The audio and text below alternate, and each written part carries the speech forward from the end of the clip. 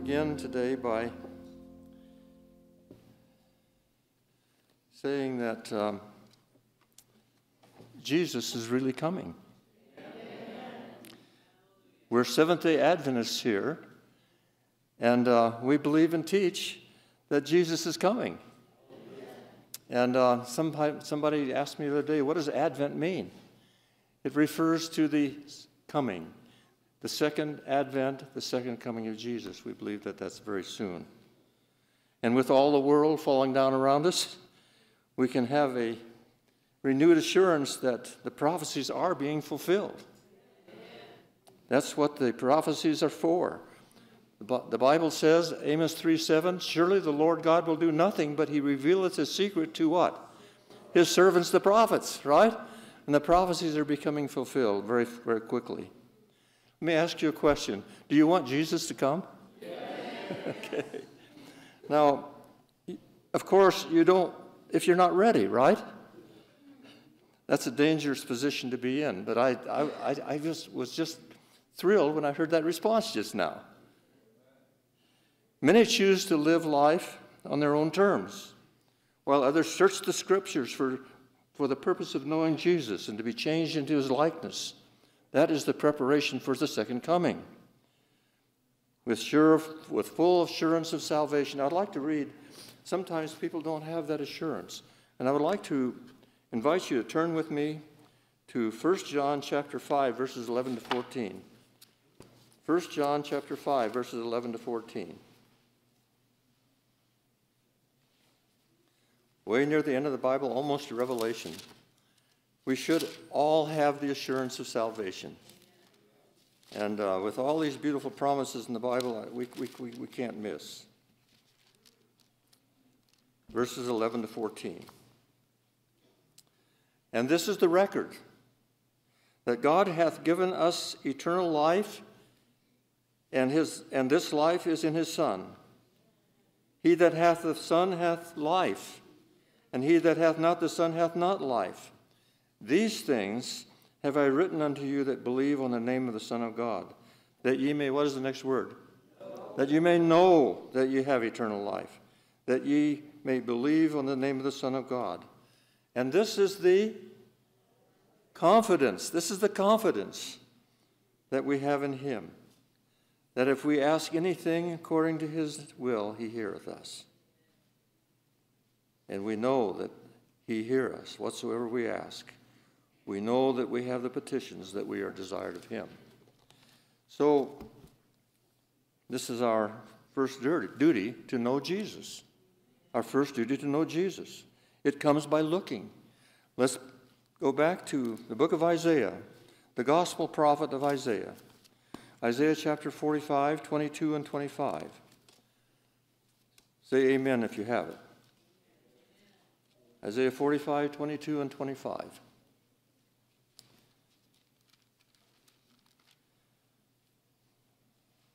Look unto me and be ye saved, all the ends of the earth. For there's for I am God, and there's none else. And verse 25. In the Lord shall all the seed of Israel be justified, and shall glory. In New Testament times, the seed of Israel is the church, right? Everybody who has their faith and trust in Jesus. Matthew 6, verse 33 says, Seek ye first the kingdom of God and his righteousness, and all these things shall be added unto you.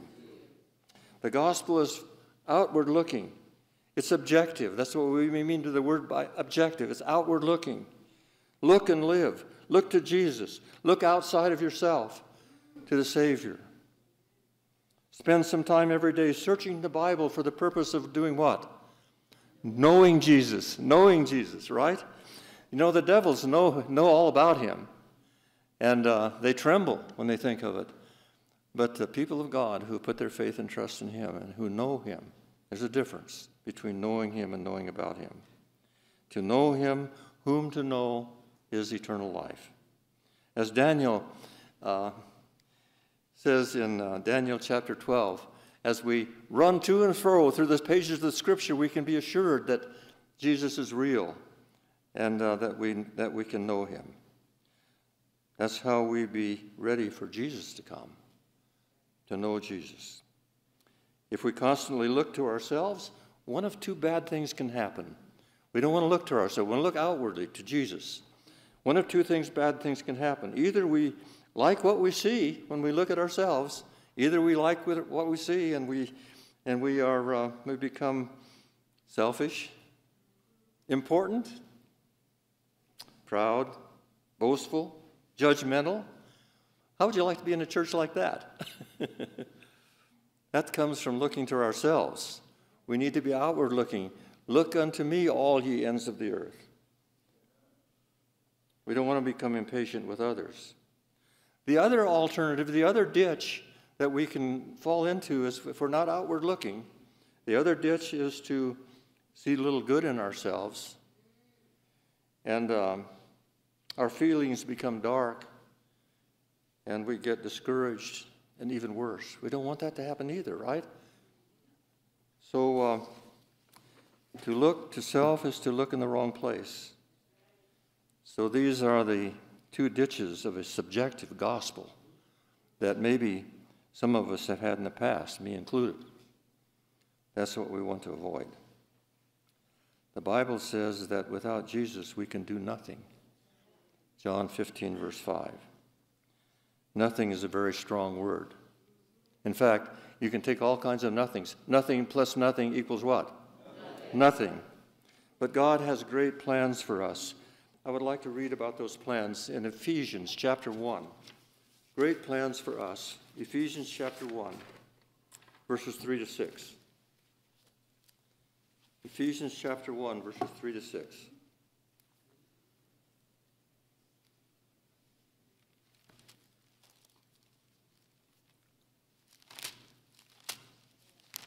We all have it? Verse 3 Blessed be the God and Father of our Lord Jesus Christ, who hath blessed us with all spiritual blessings. How many blessings? All, all spiritual blessings in heavenly places in Christ, according as he hath chosen us in him before the foundation of the world, that we should be holy and without blame before him in love, having predestinated us that's a powerful word. His desire is that all people be predestined to be saved, right? He wants everybody. He's not willing that any should perish. Having predestinated us unto the adoption of children by Jesus Christ to himself, according to the good pleasure of his will. That's total acceptance. This should be our approach. It's based on God's promises that we are his children. All the promises of God are Yes, in him. You all know that one, don't you? First, Second Corinthians chapter 1, verse 20. All the promises of God are yes in him. We receive no blessings apart from him. That's why we should look to him every day. And then we should believe it. Notice from Romans, Romans chapter 5. Romans chapter 5. I'm sorry, it's verse uh, chapter 6, not 5. Romans chapter 6. This is the baptism chapter, by the way.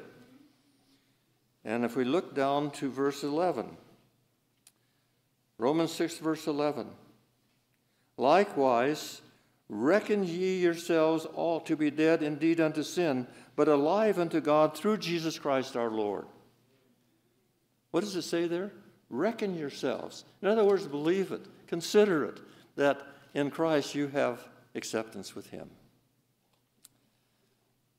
Another one, Romans 8, 15 to 19. I just love Romans 8.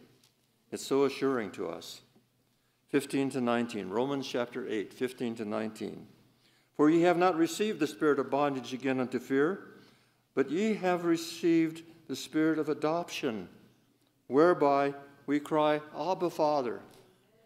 Abba, Father, that means dear Father. it's the kind of a personal term. The Spirit itself bearing witness with our spirit that we are the children of God. And if children, then heirs, heirs of God and joint heirs with Christ, if so be that we suffer with him, that we shall also be glorified together. For I reckon that the sufferings of this present time are not worthy to be compared with the glory that shall be revealed in us. For the earnest expectation of the creature waiteth for the manifestation of the sons of God. When Jesus comes, we will be physically united to the heavenly family. You know, I read someplace that the family on earth and the family in heaven are one. We're here this morning, but in Ephesians chapter 2, it says we have the privilege, even in the now, to sit with Him in heavenly places. Isn't that neat? Sit with Him in heavenly places. God paid a high price to make this a reality. And uh, so let's look at about three texts here. Titus. Titus is a little book just before Hebrews. Titus chapter 2. Take all the comfort you can out of this. Titus chapter 2, verse 14. Titus 2, verse 14. You see, some are still looking. That's good. I like to hear the rustling of pages. Verse 14 says, Who gave himself for us that he might redeem us from all iniquity and purify unto himself a peculiar people. That doesn't mean an odd people, but a peculiar, people, a special people unto himself zealous of good works. Galatians 2:20. Some of you can quote this one. Galatians 2:20. This is the promise. It says, I am crucified with Christ. Nevertheless, I live, yet not I, but Christ liveth in me. And the life which I now live in the flesh, I live by faith of the Son of God, who, what does it say next? loved me and gave himself for me. And Galatians chapter 1, verse 4, back just the page to the left. Galatians 1, verse 4, who gave himself for our sins that he might deliver us from this present evil world, according to the will of God and our Father. This is a transaction. He gave himself for us, and all he has done is for us. You can read about that in Hebrews 9, verse 24. He did all of this for us. Who pays for something and doesn't want it? Certainly not God. He paid it all. We never brought anything to the table. So he bought us for a reason. We don't have anything to offer except our gratitude and our thanksgiving and our love as we bring obedience to Him. The question is what does God want to do for us? There must be a reason. I want to read Ephesians 1, verse 4 again. This is what He wants to do. Ephesians 1, verse 4. According as He hath chosen us in Him before the foundation of the world, that we should be holy and without blame before Him. No guilt here, right? Some of us maybe have suffered with guilt. No guilt here. Uh, that's a description of life that's, that's the only way to live. He wants to make us so that we can live with Him forever. Follow Him wherever He goes. The promise to Laodicea is an important one. Revelation chapter 3. Laodicea is that last church just before Jesus comes. And notice what He has in store for all of the overcomers in Laodicea. You know, the Bible says they overcame him by what? The blood of the Lamb and the word of their what?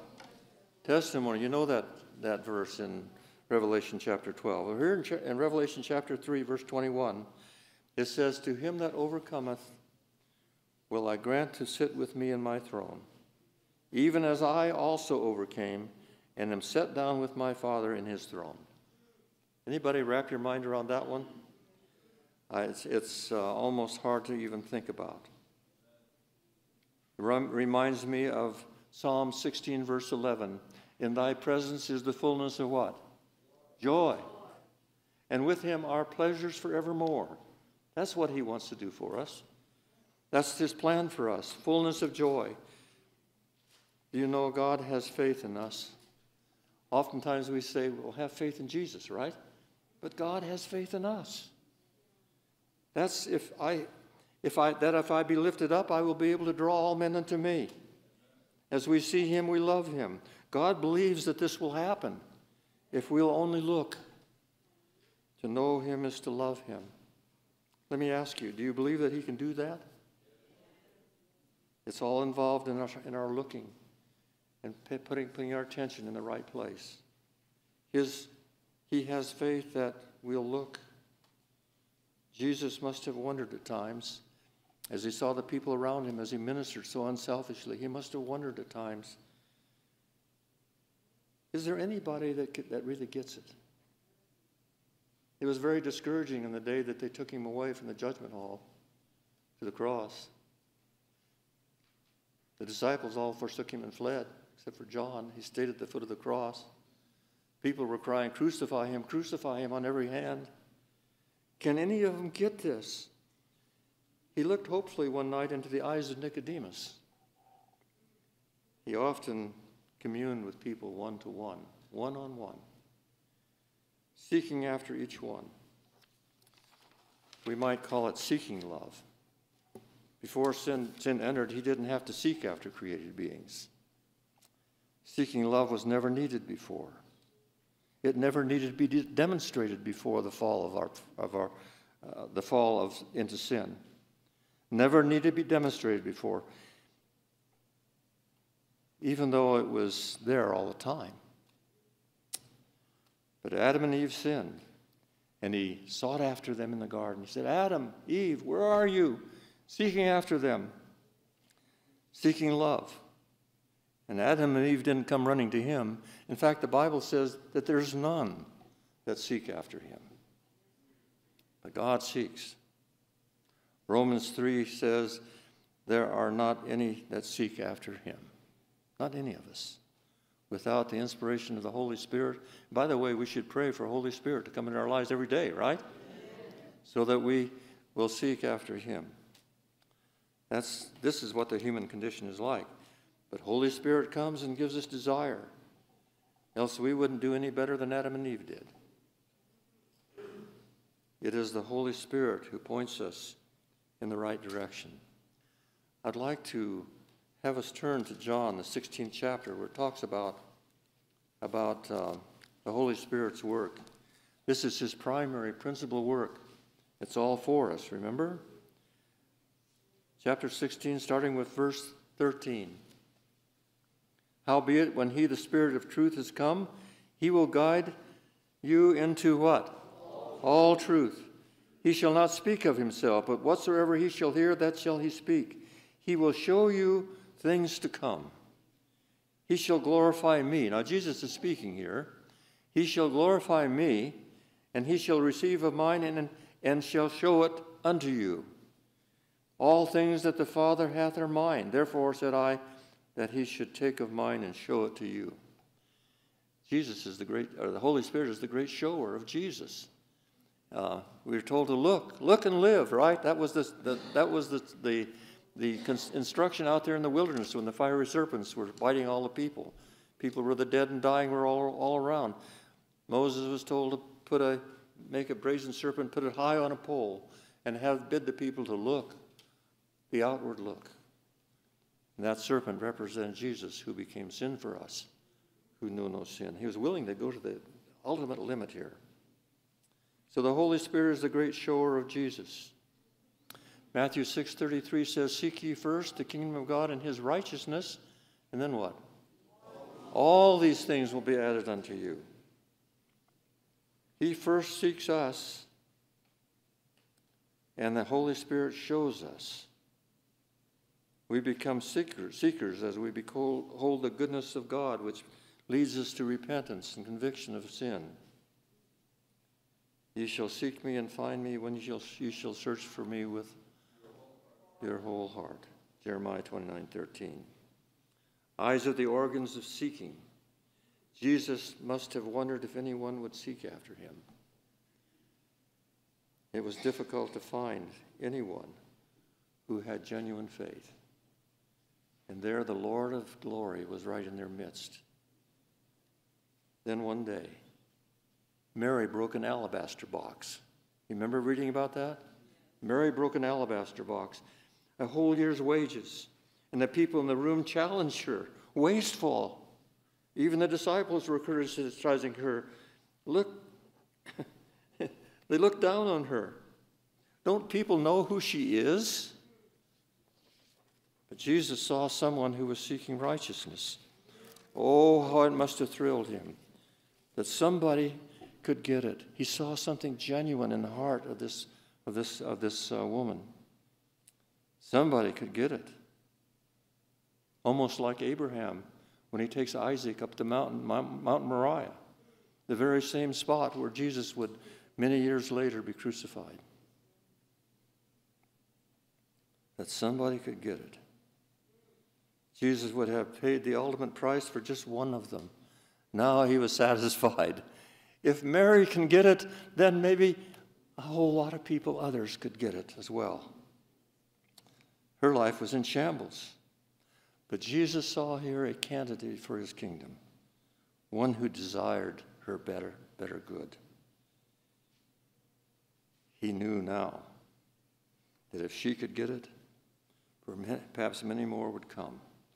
And Jesus said, wherever the gospel is taught, tell the story of Mary, because she's an example of people of someone who gets it, really gets it. It's kind of like uh, we, once we get it, we need to stay with it, right? You all have read, ridden a bicycle, haven't you? Maybe even the children here have ridden a bicycle. it's easier keep that bicycle upright if you're moving, right? What happens if it stops? Well, you've got a problem on your hand. So he's always there for our encouragement.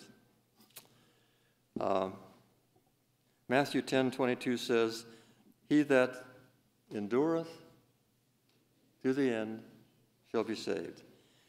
Present continuous tense. He that endureth to the end shall be saved. And that's so important in Matthew 10 22 that he repeats it again in Matthew chapter 24, verse 13. He that endureth to the end shall be saved. He gives us this endurance. Endurance, really, in the Old English, is the word patience. Revelation 14 12, we all know that verse, don't we? Here is the patience of the saints. Here's how it reads literally Here is the steadfast endurance of the holy ones, those who keep God's commandments in the faith of Jesus. Let me ask you Has God made a good investment? we need to take that personally, right?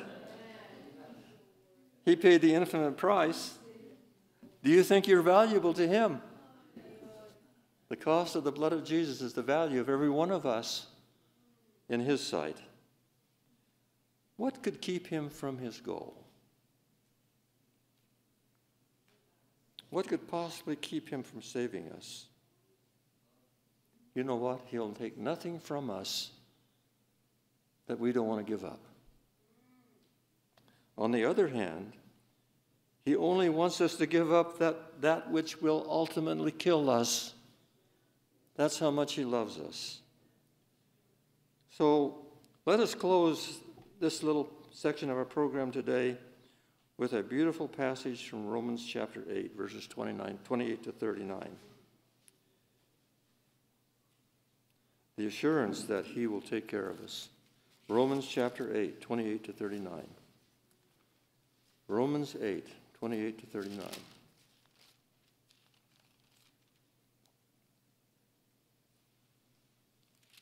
Long passage. Take all the comfort we can out of it. And we know that all things work together for good to them that love God and to them who are called according to his purpose. For whom he did foreknow, he did also predestinate to be conformed to the image of his Son, that he might be the firstborn among many brethren. Moreover, whom also he did predestinate, them he also called. And whom he called, them he also justified. And whom he justified, them he also glorified. What shall we say then to these things? If God be for us, who can be against us? He that spared not his own son, but delivered him up for us all, how shall he not with him also freely give us all things? Who shall anything do the charge of God's elect? It's God that justifieth. Who is he that condemneth? It is Christ that died, yea, rather he that risen is risen again, who is even at the right hand of God, who also makes the intercession for us. Who shall separate us from the love of Christ? Shall tribulation, or distress, or persecution, or famine, or nakedness, or peril, or sword? As it is, as it is written, For thy sake we are killed all the day long, we are accounted as sheep for the slaughter. Nay, in all these things, we are more than conquerors through him that loved us. For I am persuaded that neither death, nor life, nor angels, nor principalities, nor powers, nor things present, nor things to come, nor height, nor depth, nor any other creature shall be able to separate us from the love of God, which is in Christ Jesus our Lord.